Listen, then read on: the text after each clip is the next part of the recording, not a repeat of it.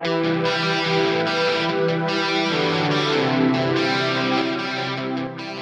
back to the Fourth Way Podcast. Today we are continuing our series on Sermon on the Mount. As a reminder, the format is that I will be reading a sonnet I wrote as part of my children's compilation, and then expound on that poem and discuss.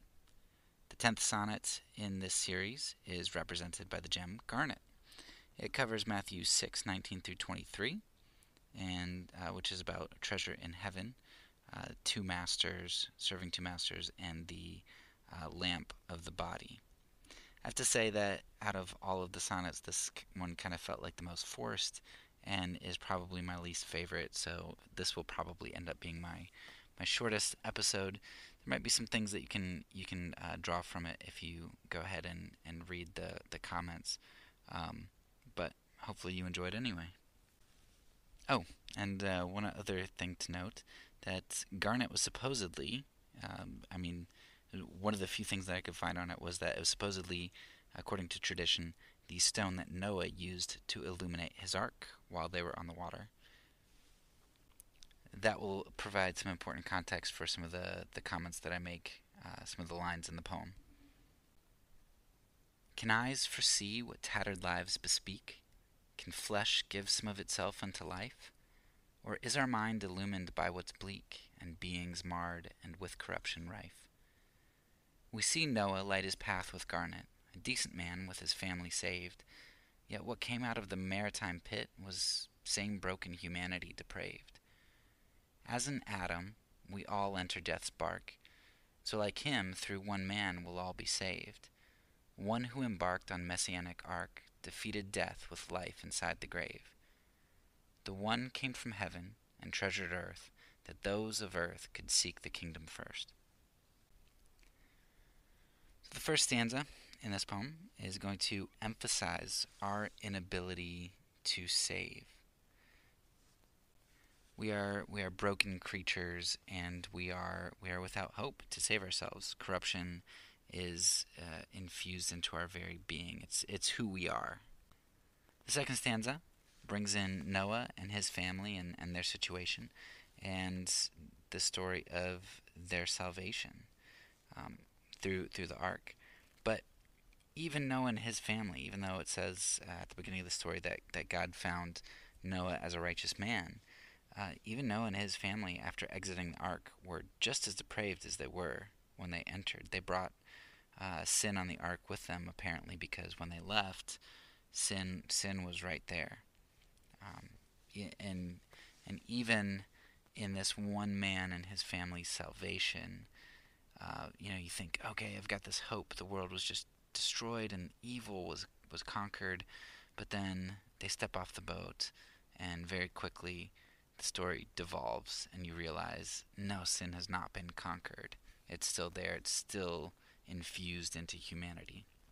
And just a little side note, I thought this was interesting. It's not really super pertinent to the poem, but um, you know, it does talk about uh, that uh, Ham, I think it was, uh, uncovered his father's nakedness. That was kind of the, the Noah Noah passed out drunk, I guess, um, or something, uh, and and then Ham went and uncovered his father's nakedness. There's a really interesting episode or question and answer. I don't know. Michael Heiser talks about that phrase, and we see it elsewhere. Well, I think like one other place, or or maybe it's not even in the Bible. Maybe it's just in other Jewish literature. But this this uncovering your father's nakedness is a euphemism for um, basically having sexual relations with your mother. So, you know, I had always envisioned that that Ham goes and uh, his his dad passed out drunk, and he takes his his robe off of him, and that that didn't really seem like that big of a deal to me. I mean, as far as like the curse that ensues from that.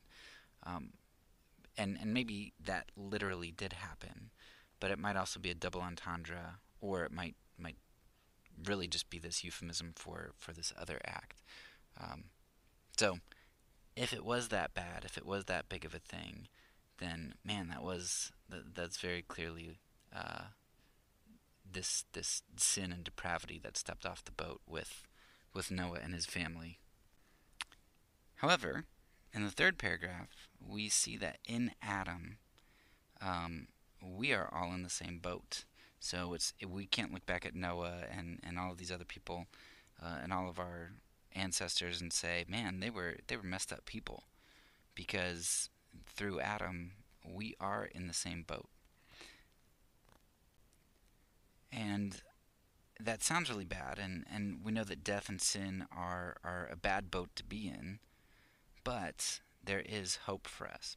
Now, this is where I'll probably depart from a lot of the people who would listen to this in that um, being reformed, uh, I, I would adhere to original sin and federal headship, which which basically means that um, you know in Adam we are all in Adam when he sinned, and it it, it really sounds like a, such an unfair thing that uh, because Adam sinned that I sinned too, but I think there are a couple a couple ways you can look at it, and I think the first thing is if I would be put in Adam's shoes, I would have sinned too.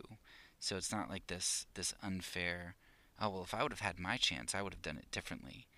I don't think that's the case. I think Adam is representative of not just representative of, of us uh, in terms of uh, we have the guilt of Adam, but he's also representative of us in the sense that he did exactly what we would do too. So that's fair. But uh, the second thing is, and I only realized this a few years ago, but one of the beauties of federal headship uh, and Adam representing us is that if representation, if if standing in somebody else's place for sin doesn't work, how would it work for redemption? Um, it seems like federal headship, uh, while it sounds really bad for uh, inheriting sin or sin guilt, it's it's glorious in terms of our redemption because Jesus was able to stand in our place. And nobody ever looks at, at that side of it. They don't say, well, if we all would have sinned anyway, and there's no such thing as federal headship, and nobody can stand in our place, that's a problem. So basically, without that, we'd all be damned. And that is a, a very big problem. Of course, there are lots of other theological terms and ideas and, and theories that you could go into. Uh, it's a lot more complicated than just that, but it's kind of a simple way for, for looking at it and maybe recognizing that even if you disagree with federal headship, um, it's it's not as bleak and depressing and uh, overbearing as it might sound because for for all of that despair that it might give you on the sin side of things, it's also what comes back and gives you the hope and the beauty on the redemptive side of things. So even though we're in the same boat as Adam, because of federal headship, we are able to be hauled into a new boat through a different saving representative the new Adam, which is Jesus Christ. Jesus pulled us into his boat, his uh, his bark, um, which is another name for boat, and in Romanian, barca is a name for boat. Um, but I use it as a double entendre there. So bark meaning boat, but also the way that Christ did this was through the bark of a tree right? Jesus hung on a tree. So bark is supposed to um, kind of be a, a double entendre to allude to the cross through the means whereby he pulled us into his boat. So the life that Jesus lived had a an arc of perfection, moral perfection. Uh, it was the story. Uh, the story arc was uh, perfect. It was beautiful. Um, and through that story arc, through through that moral arc of perfection, uh, w- he also becomes our arc of salvation. As I think it's Peter. Peter references uh, the ark. So Jesus Christ, whose treasure and life is in heaven, lowered himself so that our treasure could be there too. And that is a, a beautiful depiction, a beautiful story arc running from Genesis through Revelation. Hopefully, you enjoyed that, And uh, that's all for now. So peace. And because I'm a pacifist, when I say it, I mean it.